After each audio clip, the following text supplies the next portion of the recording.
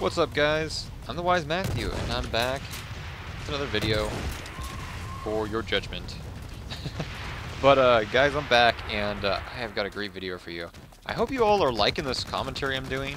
Um, it's not going to be permanent, this is a temporary thing, but um, if you guys like it, uh, let me know in the comments or like my videos, give a thumbs up.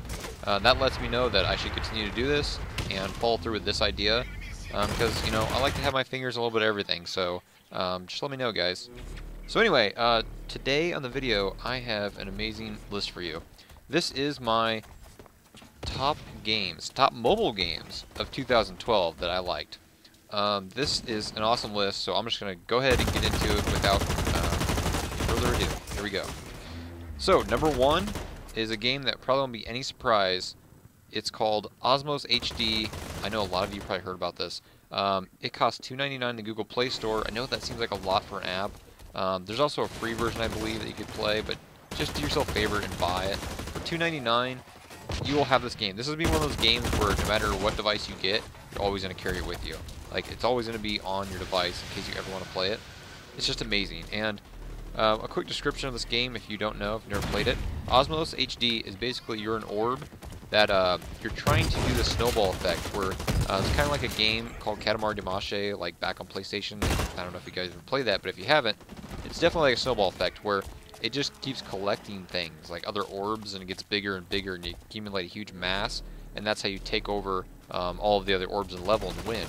Um, also, you want to avoid some of the bad orbs that are there, which um, it can get pretty crazy, but this game shines in creativity and style, and the soundtrack is amazing. I mean, I, you know, you'll probably feel very relaxing to play this game. It's very, um, it's very like tranquil and just uh, stress relieving.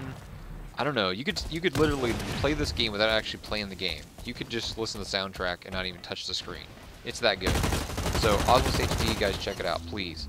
Number two, I'm moving right along. Get through these keep this video short. So number two um, is called Run in Crowd, and it's free. It's a, a online multiplayer, uh, multi-platform game, which means you can play people on the iPhone, iOS, the Mac desktop, the PC desktop, Android, Linux, and you can actually, it'll tell you um, uh, who you're playing. And all you're going to do is just basically, it's a platform game, you just run and jump, and uh, you'll see all the other people on the, on the uh, screen, and you're going to try to uh, last longer than they will. So that's Run in Crowd. It's a fun game very black and white style, cool style to it. Check it out, guys. Okay, number three is called Radiant Defense. And a lot of you are like, what? Did he ever review that? Yes, I did review this um, a while ago. This is like uh, one of the first apps I reviewed um, in the start of 2012, actually, if you want to go back and check. Um, this is a free game, and it's a strategy game. Um, it's brought to you by a company, uh, I can't remember the name of them right off the bat. Uh, they also did a game called Robotek that I did like last year, so check that game out too, Robotek. It's also free. Um, just Radiant Defense, though, it's a strategy game, and it's just got a cool, uh, like a neon light style to it, and uh, it's, it's just very solid game. So if you like um, like uh, Robo Defense, that's another uh, really old good game. Um, if you like Robo Defense, you'll like this game because it's very strategic, and you have to place certain weapons um, in order to stop these kind of weird neon creatures from uh, getting to this endpoint or this portal in the game. So it's really cool. It's Radiant Defense. It's free on Google Play right now. Number four uh, is an app that uh, is actually like a pretty new app. I just recently reviewed this. Uh, Granny Smith or Granny Smith Apples. That's what always comes to my mind when I think of that name. Um, it's uh, $1.99 and uh, there is no free version. But uh, this game is cool. It's funny. It's so funny, guys.